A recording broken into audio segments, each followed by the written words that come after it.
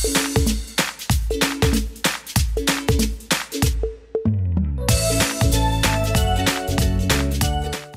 magandang araw po sa inyong lahat. Nandito na naman po ang inyong unlimited recipe para ibahagi sa inyo ang isa na namang uri ng pagkain na popular sa bansa ng Bangladesh na kung tawagin ay beef tehari. So tara na sa aking kusina at umpisahan na natin itong gawin. Pero bago yan, tingnan muna natin ang mga sangkap na ating kailangan.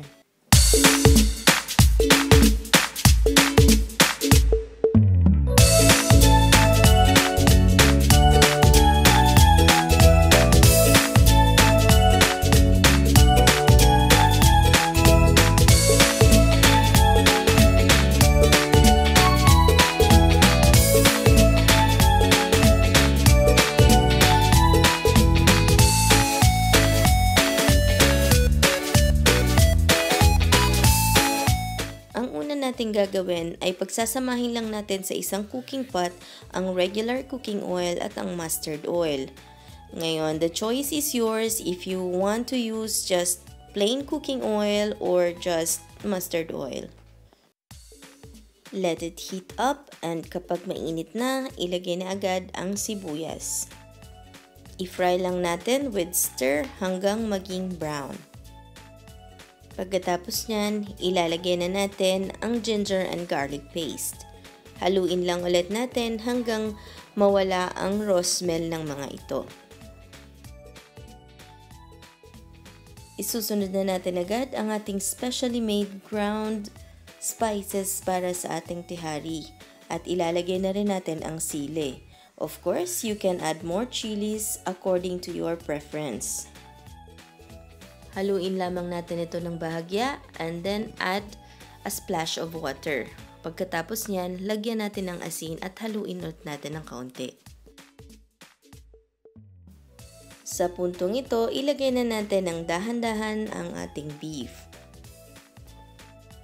Haluin lang natin itong mabuti to make sure that every single piece of meat will be coated with the amazing flavors of our ingredients. After doing so, let's go and add in yogurt and give it a good mix.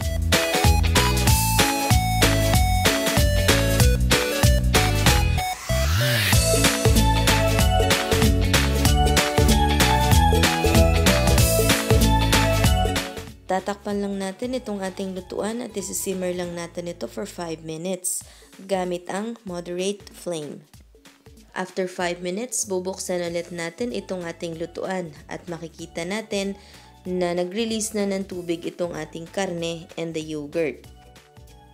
Bahagya lang natin itong haluin and then takpan natin ulit at lulutuin natin ito sa mahinang apoy hanggang matuyo or hanggang lumambot.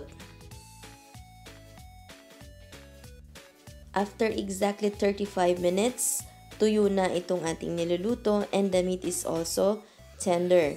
But I would like the meat to be very very tender so I am going to add in one and a half cups of water. But if you are already happy with the tenderness of the meat right now, you can stop the cooking process and move on to the next step. Hahaluin ko lang ito ng kaunti at saka tatakpan ulit at saka lulutuin lang ito hanggang sa ang tubig ay tuluyan ng maglaho. Iluluto ulit natin ito sa mahinang apoy. Let's take a peek. Wow, this is what I am looking for. Okay. It's so mabango. And uh, kung mapapansin nyo, medyo maraming mantika. Okay, pero don't you worry kasi um, yan din ang gagamitin natin to cook the rice. I will show you later. Okay, so this time, gusto kong i-scoop out itong um, oil na nakikita nyo right now. Okay, so let's go and do it.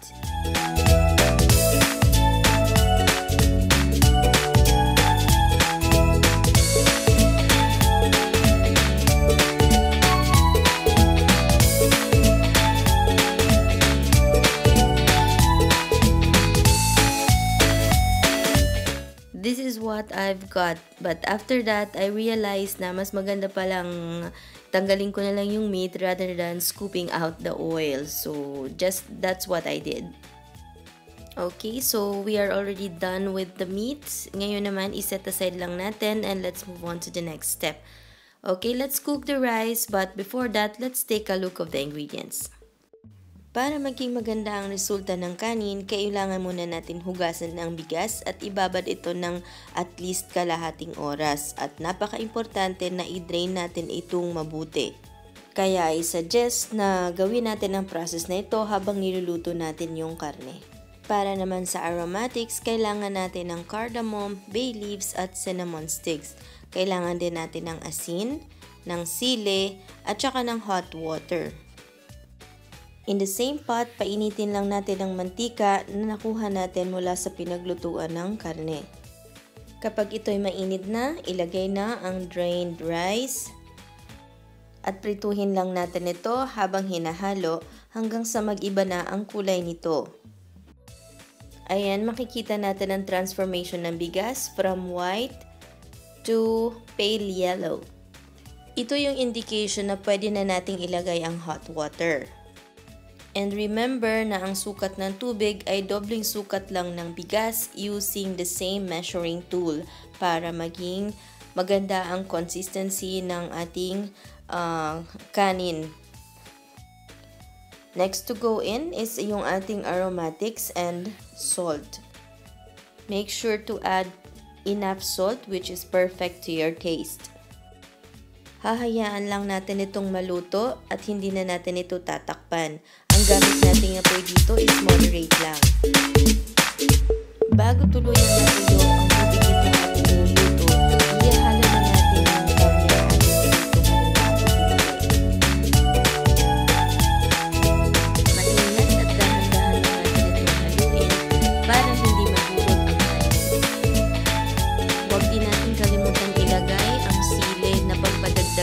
lamang. Huwag po kayong mag-alala at hindi magiging maanghang itong dish ninyo kapag nilagay niyo itong sili. Basta huwag niyo lamang itong hihiwain.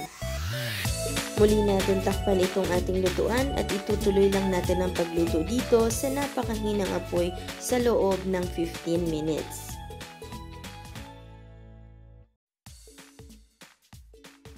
After 15 minutes, patayin na natin ang apoy at tingnan na natin itong ating finished product. Kung bago ka pa lang sa aking channel at hindi ka pa nakapag-subscribe, gawin mo na agad yan at isama mo na rin ang kampana para updated ka sa mga uploads. Sana'y makatulong sa inyo ang video na ito, lalong-lalo na sa mga baguhan pa lamang sa pagluluto. Samahan niyo ulit ako sa susunod nating episode. Happy cooking and thank you for watching.